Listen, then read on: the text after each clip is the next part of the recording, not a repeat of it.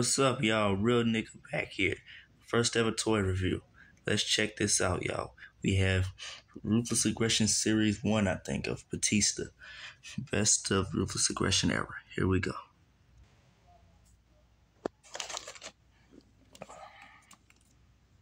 Let's go.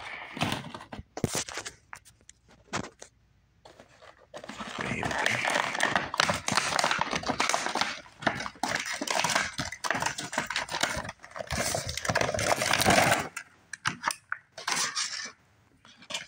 Here's the front of the box. Here's the back of the box. Some more song. There you go. So you can see it.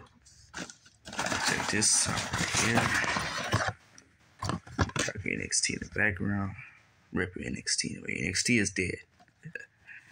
Anyway, there you go. Shawn Michaels and Brock Lesnar. Brock Lesnar, Shawn Michaels. We don't get them next.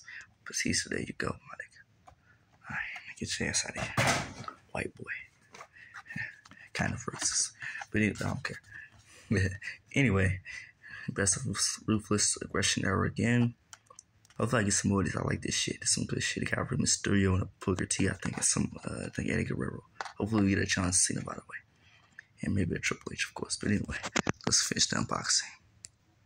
Here we go. Look at this lamp, whatever. Anyway, Batista. Here we go.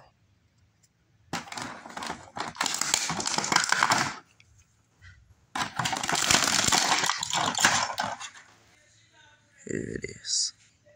Let me know what y'all think down in the comment section. Thank y'all. For now.